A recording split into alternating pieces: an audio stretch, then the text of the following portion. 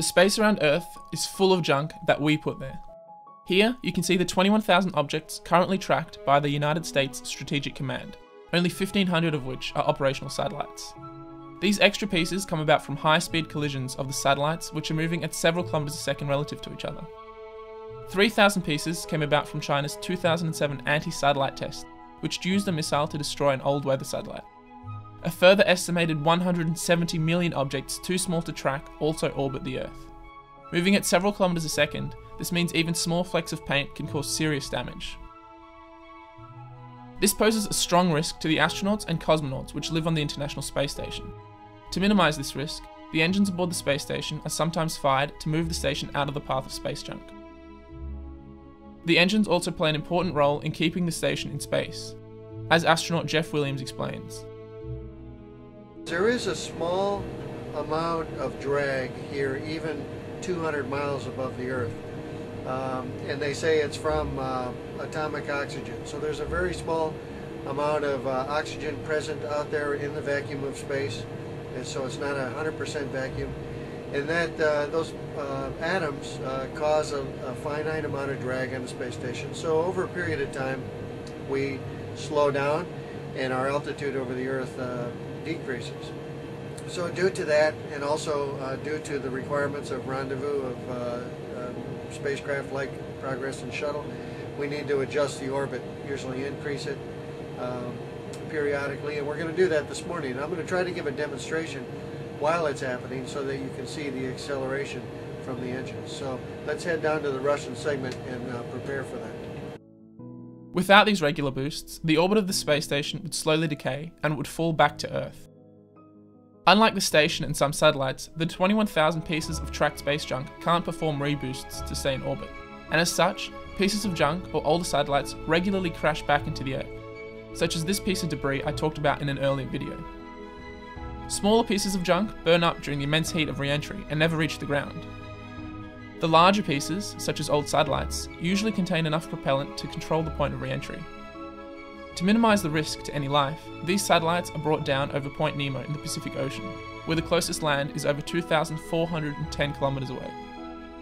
To date, over 263 satellites have been brought here to rest, such as the European Space Agency's Jules Verne spacecraft, seen here. Spectacular!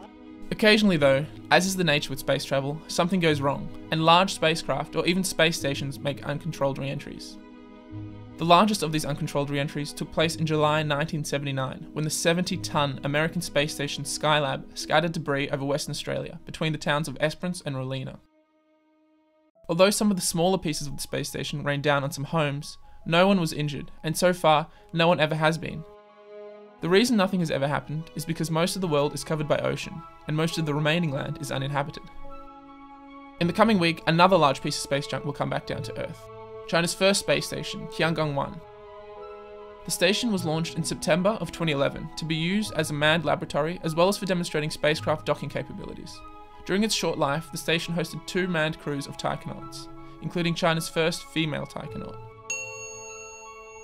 The 8.5 ton station will be the ninth largest object ever to make an uncontrolled landing back on Earth, which will make it a spectacular sight to behold.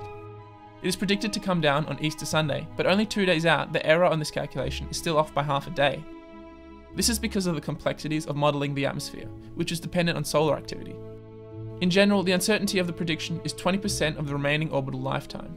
This means that 7 hours before the re-entry of the space station, the uncertainty will still be plus or minus an entire orbit. This means it's still possible for the space station to land anywhere on Earth between 43 degrees north and south. This image from the European Space Agency shows the parts of the globe that this covers and the corresponding population density along each line of latitude. The probability of re-entry is highest at the maximum and minimum latitudes as the station orbits the Earth at an angle to the equator. This means it spends more time over the edges than crossing the equatorial bands. As of the publishing of this video, the most accurate decay prediction is for the 1st of April at 12.20 Universal Time, plus or minus 15 hours, which will mean the decay could occur over any of the lines on this map. As I've already mentioned, no one has ever been injured by space junk, and this will be no different.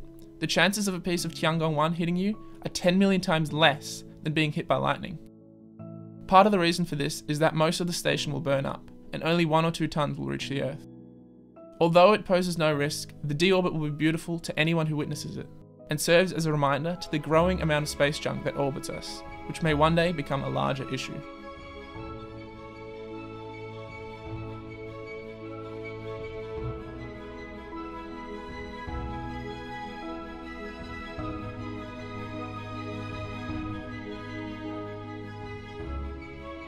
If you're still watching, I'd like to thank you.